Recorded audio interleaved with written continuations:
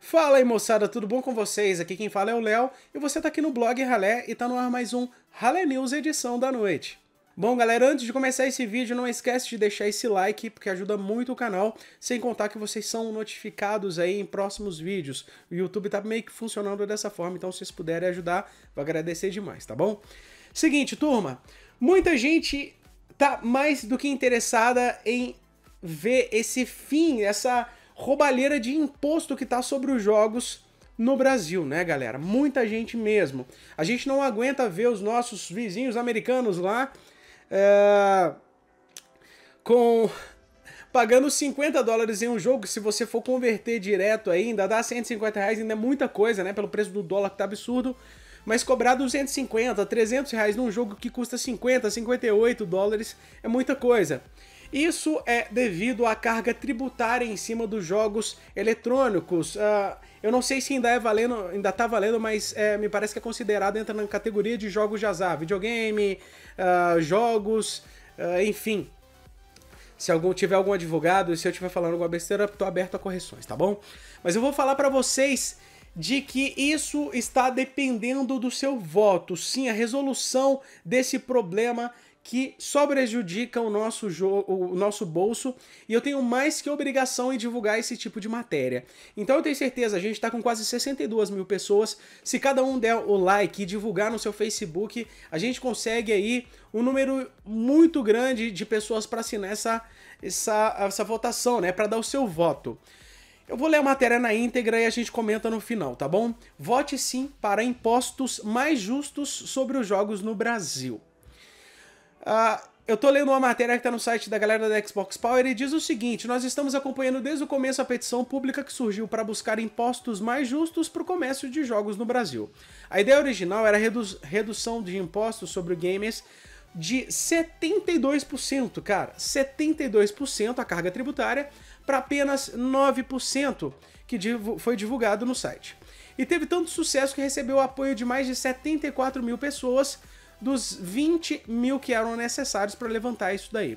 Na época, mais precisamente em junho de 2017, o senador Teomário Mota havia dito que a proposta seria analisada pelo Congresso. E em alguns dias atrás ele atualizou novamente dizendo que ela foi aprovada na Comissão de Direitos Humanos e Legislação Participativa, CDH, e que deixava bem perto da efetiva redução de impostos sobre os jogos eletrônicos. Bom, finalmente a proposta avançou rapidamente dessa vez e foi aberta uma nova consulta pública acerca da proposta de emenda à Constituição número 51 de 2017, a PEC 51/2017.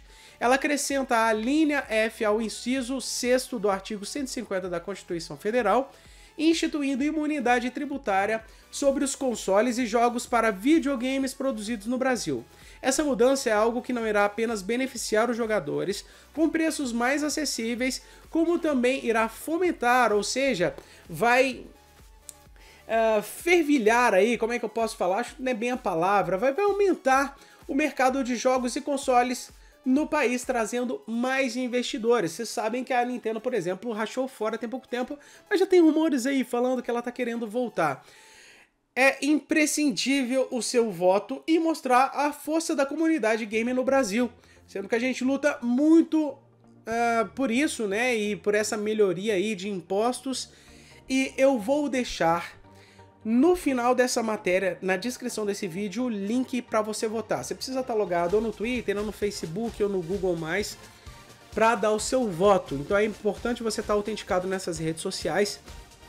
E a partir de agora, relezeiros, Estou contando com a ajuda de vocês para divulgar essa votação no Facebook de vocês. Escreve lá.